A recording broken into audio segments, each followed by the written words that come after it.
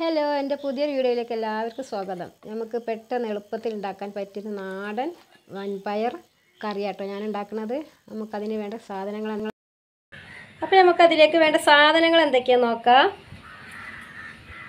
ഒരു സവാള അരിഞ്ഞു വെച്ചതുണ്ട് കറിവേപ്പിന്റെ ഇലുണ്ട് ചെറുതാക്കി അരിഞ്ഞ ഇഞ്ചി കഷ്ണങ്ങളുണ്ട് അതുപോലെ പച്ചമുളക് ഉണ്ട് വെളുത്തുള്ളി ഉണ്ട് പാകത്തിന് വെള്ളം എടുത്ത് വെച്ചിട്ടുണ്ട് ഒന്നര ടീസ്പൂൺ ഒന്നര ടീസ്പൂണ് മല്ലിപ്പൊടി അര ടീസ്പൂൺ പെരിഞ്ജീരകപ്പൊടി ഒന്നേക്കാൽ ടീസ്പൂൺ മുളക് പൊടി എടുത്തിട്ടുണ്ട് ഒന്നേക്കാൽ ടീസ്പൂണ് മഞ്ഞൾപ്പൊടിയും കൂടി എടുത്തിട്ടുണ്ട്.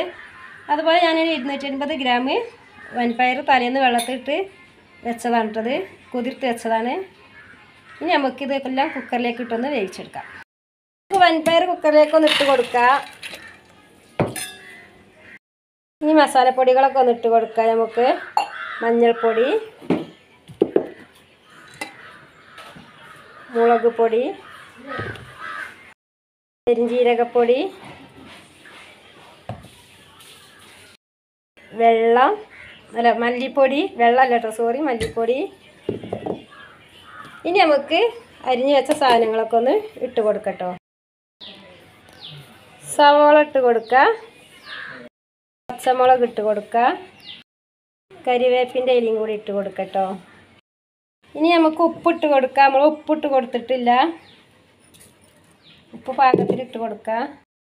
വെള്ളം കൂടി നമ്മൾ ഒഴിച്ച് കൊടുത്തിട്ടുണ്ട് കേട്ടോ ഇനി നമുക്ക് പാകത്തിന് കുറച്ച് വെള്ളം ഒഴിച്ച് കൊടുത്തിട്ടുണ്ട്. കുറച്ച് വെള്ളം പോരായി വന്നിട്ടുണ്ട്. നമുക്ക് കുറച്ചും കൂടി ഒഴിച്ച് കൊടുക്കാം കേട്ടോ അങ്ങനെ പാകത്തിന് വെള്ളം കൂടി നമ്മൾ ഒഴിച്ച് കൊടുത്തിട്ട് നമുക്ക് അടച്ച് വെച്ച് വേവിക്കാം. നമ്മൾ ഗ്യാസ് മേൽ നമ്മൾ വൻപയർ വെച്ചിട്ടുണ്ട്. ഇതൊന്ന് വേ വേവട്ടെ കേട്ടോ കറി വന്നിട്ടുണ്ട് കേട്ടോ കണ്ടില്ലേ? പാകമായിട്ട് വെന്ത് കിട്ടിയിട്ടുണ്ട്. ഇനി നമുക്കിതൊന്ന് വറവിട്ടേക്കാം കേട്ടോ. ഇനി നമുക്കിതേ വറവിടാം. ഇനി ഞാനൊരു പാനടുപ്പത്ത് വെച്ചിട്ടുണ്ട്. ഇനി നമുക്കിതിലേക്ക് ചൂടായതിന് ശേഷം വെളിച്ചെണ്ണ ഒഴിച്ചു കൊടുക്കാം. ഇങ്ങനെ നമ്മൾ വെളിച്ചെണ്ണ ഒഴിച്ചു കൊടുക്കുകയാണ്.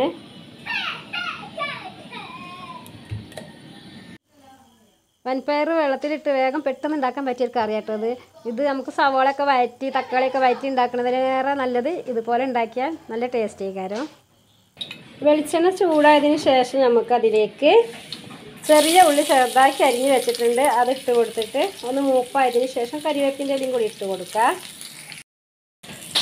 നമ്മൾ ഉള്ളിയൊക്കെ നല്ലവണ്ണം വറവായി വന്നിട്ടുണ്ട്. നമുക്കിതിലേക്ക് കരിവേപ്പിന്റെ ഇല ഇട്ട് കൊടുത്തിട്ട് അങ്ങനെ നമ്മൾ ഉള്ളിയൊക്കെ നല്ലവണ്ണം വറവായിട്ടുണ്ട്. ഇനി നമുക്കിതിലേക്ക് കരിയത്തിന്റെ ഇല കൊടുക്കാം.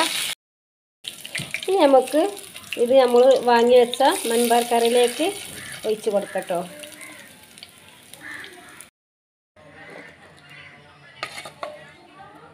ഇതെല്ലാവർക്കും പെട്ടെന്ന് ഉണ്ടാക്കാൻ പറ്റിയ കറിയാണ് കേട്ടോ. എല്ലാവരും ട്രൈ ചെയ്യണേ.